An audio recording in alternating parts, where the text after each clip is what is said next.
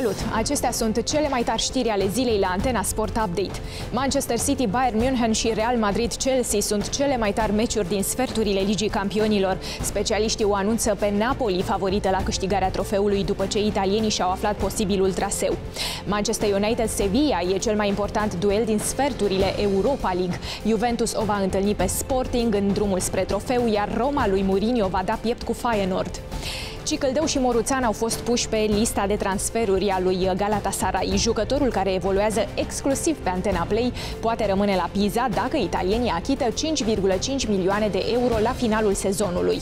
Tot de pe site-ul as.ro aflați că Ronaldo va fi convocat de Roberto Martinez pentru primele meciuri ale Portugaliei din preliminariile pentru Euro 2024. Și Adrian Mititelu a reacționat după ce echipa lui a ratat rușinos play-off-ul din Liga 1. O seară neagră de neînchipuit, de nerecunoscut echipa noastră, a scris patronul pe rețelele sociale.